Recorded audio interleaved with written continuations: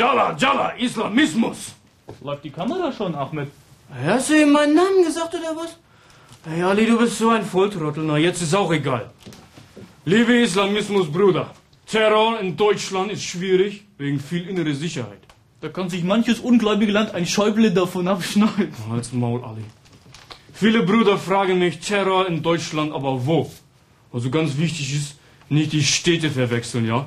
Das hier ist die Oper in Bayreuth. Und das hier ist die Oper in Beirut, ist klar. Viele Brüder fragen Terror in Deutschland, aber wann? Wichtig in Deutschland ist pünktlich. Vor allem, wenn du hast Autobombe mit Zeitzünder, musst du aber schnelle Karre. Nicht so wie dein Schwager Selim neulich. Ali als Maul.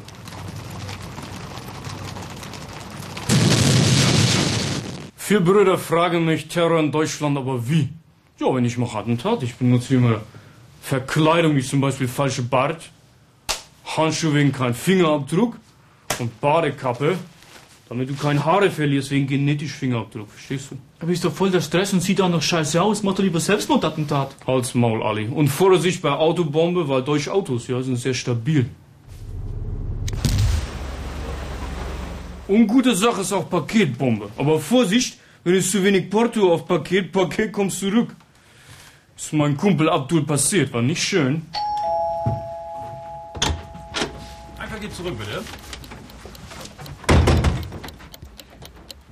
Zurück an Absender? Warum?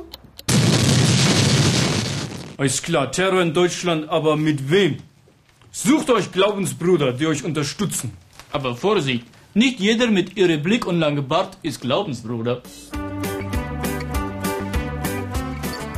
Übrigens werden bei uns immer wieder Stellen als Selbstmordattentäter frei. Also, wenn du keinen Schulabschluss hast und leicht zu manipulieren bist, dann bist du genau der Richtige. Und außerdem, jeder Selbstmordattentäter kriegt im Paradies 72 Jungfrauen und eine Tüte Datteln. Und was ist mit weiblichen Attentäter? Vielleicht brauchen die gar keine 72 Jungfrauen. Hä, bist du jetzt schwule Frauenversteher oder was? Mach du mal Filmszene, ich muss auf Klo.